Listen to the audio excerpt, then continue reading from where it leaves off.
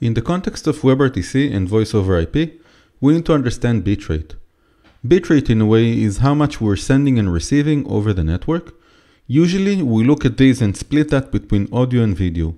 In the graph here what you see is the incoming outgoing video bitrate of a session that we're having.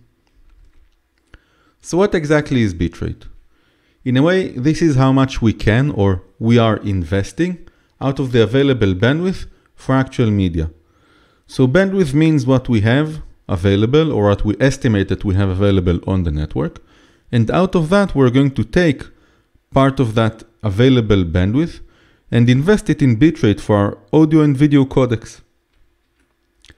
The higher the number that we have there, the better the media quality that we can expect. This is not always the case, but this is a rule of thumb. Also, bitrate changes dynamically in the session. So we can't decide, for example, that we're going to do video 2 megabits per second and forget about that, because it can change dynamically based on the available bandwidth in our network. If the bandwidth gets lowered, then we need to also reduce our bitrate. Why does that bitrate changes in a session? There are many reasons for that and it usually stems from the bandwidth available.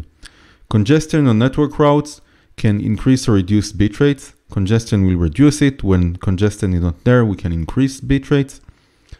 We have other processes or machines that use the same local network resources. Okay, again, someone watching Netflix or YouTube or using Google Drive or whatever network resources that are needed. It might be the distance from the Wi-Fi access point or a cellular tower that affects our bit rate. It might be network policies.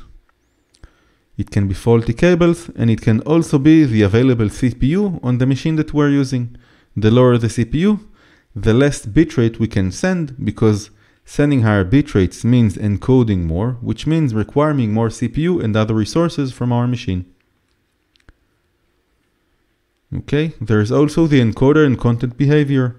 If what we're trying to send is a black screen, we don't need a lot of bitrate to be able to send that over to the other network.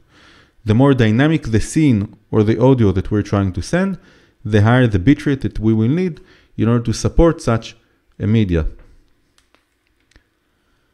To learn more about WebRTC, you can check out webrtcglossary.com and webrtccourse.com where you'll find my training courses for WebRTC. Thank you.